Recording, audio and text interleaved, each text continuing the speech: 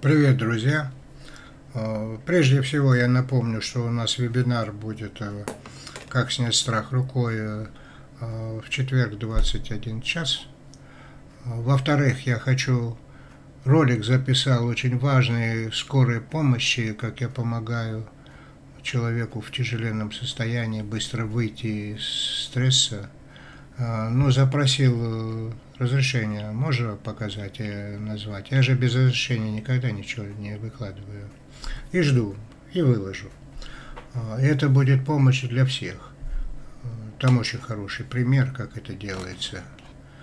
Так вот, э, слушайте, тут очень интересный вопрос э, возник, потому что я разговаривал со своим старым другом, э, академиком Раен, он независимый эксперт, а Александр Простов. Мы с ним много лет дружим.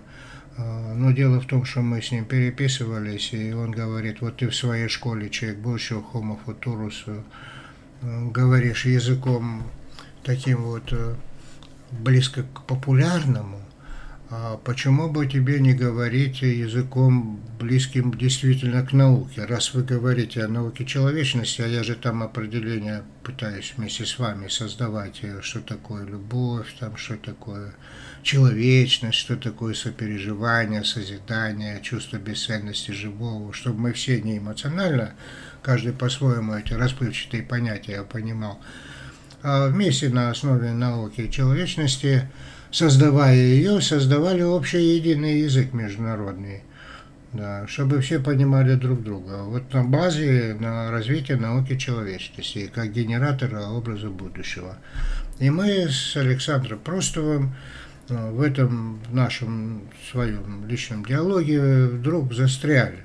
Да прямо могу сказать, потому что я не понял. Он говорит, ну, все же понимают, что такое понятие смыслы. Э, я говорю, а что под этим ты подразумеваешь э, в своем утверждении? А он говорит, как что, ты не понимаешь, что такое смыслы?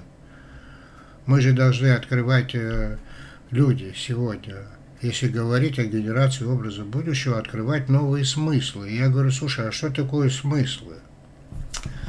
Ну и вот затеялся разговор, я вас хочу попросить, друзья – Вообще понятие, слово «смысл», которое мы все слышим сто раз. Смысл, смысл, смысл.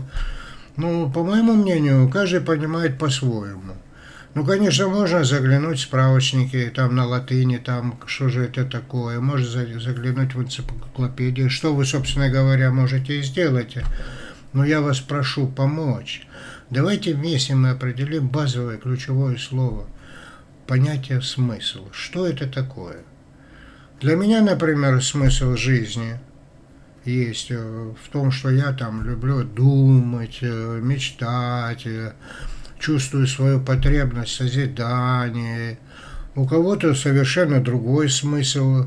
Когда он слышит смысл, он чувствует другую какую-то реальность в себе. Ну, не знаю, вот, например, даже когда Христос сказал «люби ближнего», ну, каждый услышал, наверное, по-разному, потому что кто-то подошел и спросил, а что значит ближний? И Христос привел пример. Притчу о самарянине. Ну, помните, да? Ну, вопрос заключается в том, что без диалога, оказывается, без диалога, оказывается, не получается, потому что мы все люди вроде бы как все вместе, а живем как на разных планетах. Каждый понимает по-своему. Вот давайте дружно, друзья, возьмемся за руки – и вместе предлагайте в комментах э, сейчас, э, как вы понимаете понятие слова «смысл». Да, понятие слова «смысл». Что это означает? Может, всем понятно, только мне непонятно. Ну, ну может быть, но давайте уточним. А коммент я старого-старого совершенно разговора интересного, который происходил у меня э, с Александром Простовым на канале «Глобальная волна» Ярослава Старухина. Да, очень э, интересный был тогда видео разговор, посмотрите, чем, ну, что такое национальная идея, почему мы все время переписываем свою историю заново в нашей стране, Ну, много там интересного, посмотрите. Я прикрепленным комментом сделаю. Пожалуйста, пишите комменты. Что такое понятие в слове знакомом смысл?